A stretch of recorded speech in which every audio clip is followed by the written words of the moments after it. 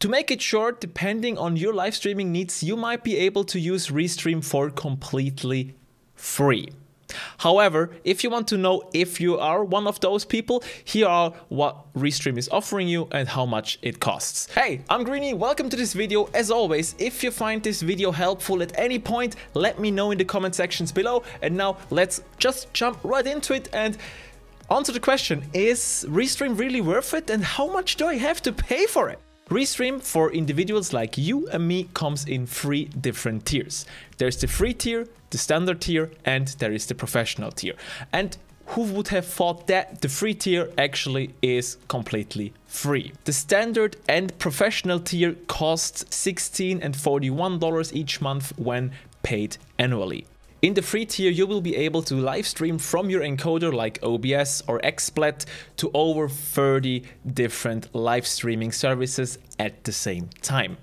However, there is one small exception, and that is Facebook public pages and Facebook groups. So if your plan is to live stream your gaming to YouTube and Twitch at the same time, that's possible in the free tier and is completely free.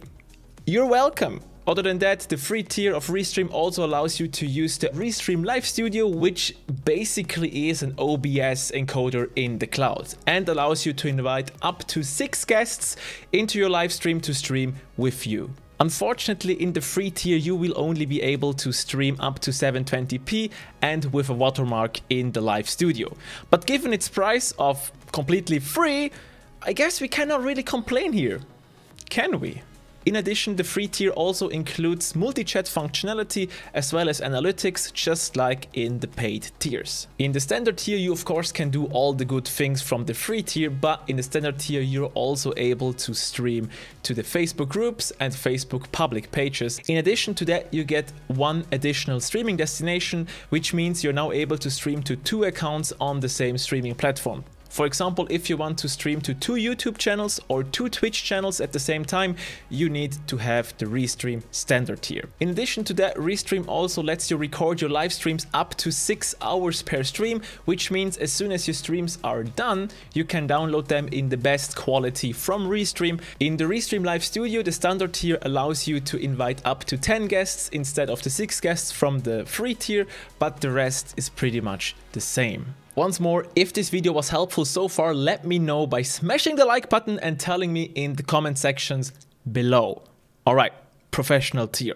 The professional tier of course gives you all the great things from the standard and free tier, however there are some extra features. You now get free extra destinations, which means you are now able to live stream to up to 4 accounts on the same platform, wherever you want to do that, but that's possible with the pro version and your live stream recordings can be up to 10 hours per live stream, which is pretty much enough for almost all use cases I've seen so far. To get to the part where the professional plan really shines, we need to take a closer look at the Restream Live Studio. Not only do you have the ability to remove the watermarks, no, you also can live stream in full HD as well as create customized overlays and bring in your own video videos and graphics to show in the live stream. And finally, there is one small detail in the Pro plan I really want to get your attention to real quick, and those are RTMP pull links.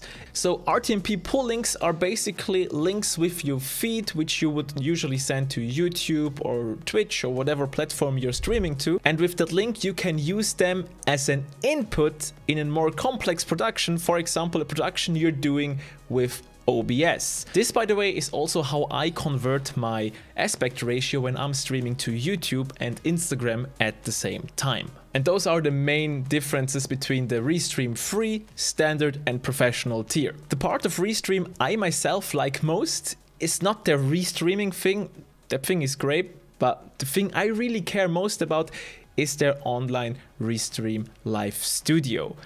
And it is just so easy. Really, since Restream partnered with me and I have now access to the Restream professional license, I also have access to the Restream Live Studio.